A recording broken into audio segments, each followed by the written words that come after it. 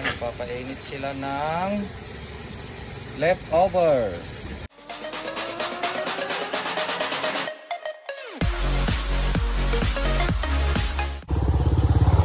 Hello, good morning mga kalakay. Mamamalingki muna kami. Tatapos lang namin na maghatid ng mga gamit at mga stock. Ito mamamalingki kami.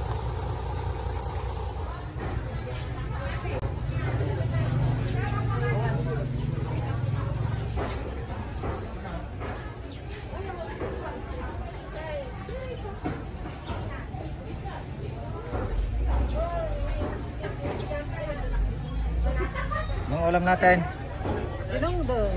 Dinindeng nga uh, utong. Ay! sitaw pala. Halo-halong gulay.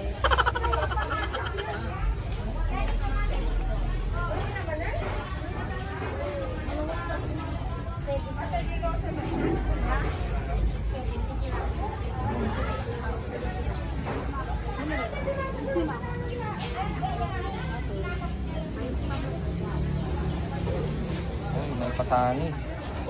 Oh, masarap yan. Iwas muna sa baboy. Ano ano?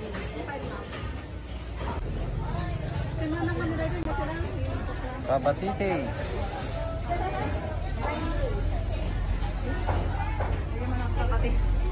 Kabatiti. Wala! Ay, patula pala sa Tagalog.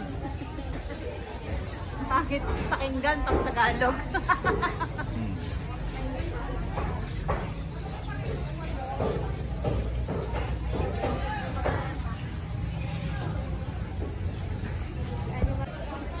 Dito tayo sa Fish and Meat section.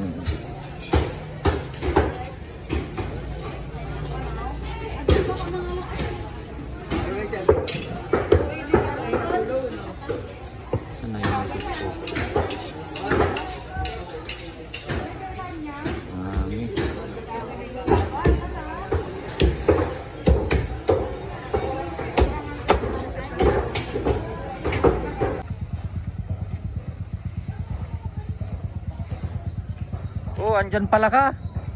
Eh, nawala ka kanina eh.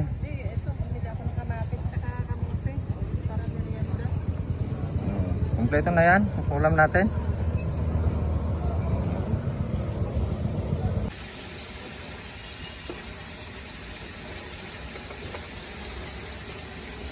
Yan, nagpapainit sila ng leftover.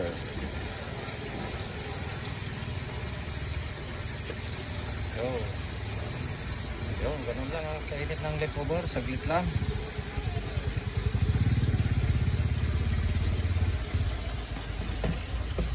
Ayun.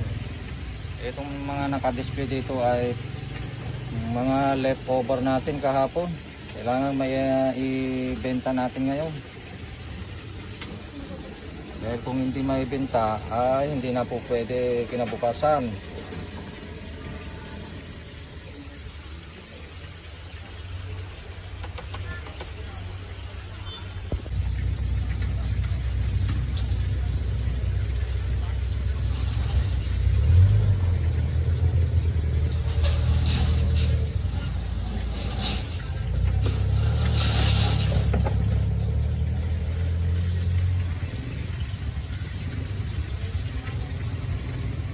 Ano yan yung garlic? Bueno.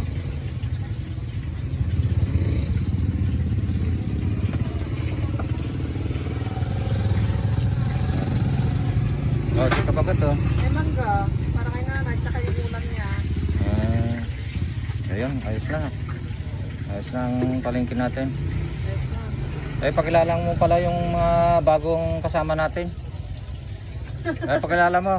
Ito po yung bagong kasama natin. Si ano pangalan Ay, Jan Jan. Magkapatid po sila. Ating niya si ano, Jessica. Eh, nag-aaral po sila pero tinanggap po para naman ano, makatulong sila sa ano, kanilang pag-aaral. Eh, masipag naman sila kaya ayun. Ayos. Yung papa nila, tricycle driver. Wala ko silang mama. Oo, kaya Buti na lang po yung masipag sila kaya ayos yan. Basta sinasabi ko lang ayusin nila yung trabaho nila. Oo, kailangan nila eh. Kasi At nagtulong din sa ano, pag-aaral nila yung ano. ibig sabihin mag-isa lang yung papa nila na nagtataguyod sa kanila. No? Ay, yung cellphone mo, baka mo ha. Mano kay nga kakabsat, Jessa? Um, dalawa ko. Ay na di may isa? Hindi ayusan na. Mano taon na? Um, 9 years old. Ah, meron pa silang kapatid na maliit, yung 9 years old daw. Ayan. Oh, sila yung bago nating kasama dito. Tini-training natin pero marunong na sila. Mga mahigit isang linggo na sila, no? Marunong na sila. Ma- Madali naman na matutunan. Madali silang natuto. Oh, madali silang natuto. Madali silang natuto sa pagtulog. Saka sa pagkakita. Kaya sana lahat ng ano, empleyado ganyan. Madaling matuto. Ano yan? Mukhang binahan na tayo ah. Ay, oo. Pati yung ano ng ano, ang tag dito, truck ng mga isda. Oo, yun kasi yung yan yung problema dito eh. Dito yung babaan ng mga isda. Andun yung mga yung gano'n no, yung truck. Yung truck nang nagdi-deliver. Oh, dito kasi yung babaan ng mga isda eh. Kaya binabaha kami dito. Oh.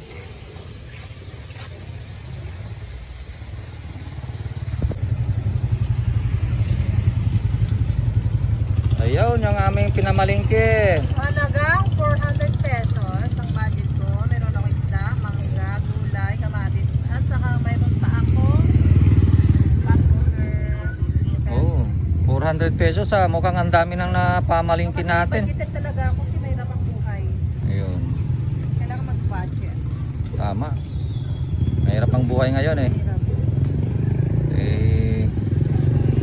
taghirap, krisis. Kaya tipid-tipid lang. Pero parang ang dami yan ah. 400 oh, parang ang dami. Oo. Eh, kasi sa suki ko kasi lalo pag ako bumili mura. Ay, ganun pala. Suki-suki ah. Ayan. O tara na, ang ganda ng service natin oh. Kulong-kulong. Let's go. So, ayan po. Ah, pwede nang umuwi. Nakapalingki na kami. At naayos na namin itong pwesto. Yan, bahala na sila dyan. Yung magkapatid na mga tao natin. Okay na sila. And let's go home.